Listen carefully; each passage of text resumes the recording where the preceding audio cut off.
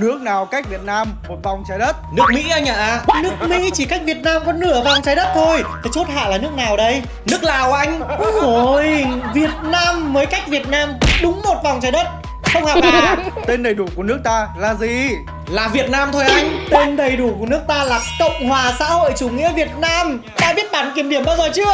Nước ta đổi tên thành Cộng hòa xã hội chủ nghĩa Việt Nam khi nào? À là từ năm 1975 Giải phóng miền Nam thống nhất đất nước đấy anh Nhưng mà thực chất nước ta đổi tên như vậy từ năm 1976 Chính xác ra là ngày mùng 2 tháng 7 năm 1976 Về bổ sung thêm kiến thức đi nhá Thái Lan tên đầy đủ là gì? À Vương quốc Thái Lan Hay tiếng Hán Việt còn là Thái Quốc đây anh ạ Ê, Sao tự nhiên thông minh thế nhở? Thế Đại Hàn Dân Quốc là tên gọi của nước nào? Hàn Quốc anh ạ Chính xác Vậy Tát Khắc Tư Thản và Ô Tư Biệt Khắc Tư Thản là tên gọi Hán Việt của nước nào? Ồ cái này em chịu thôi. Ui dồi, cái này là anh chắc cũng phải nhờ ý, ý kiến khán giả đấy là sao mà biết được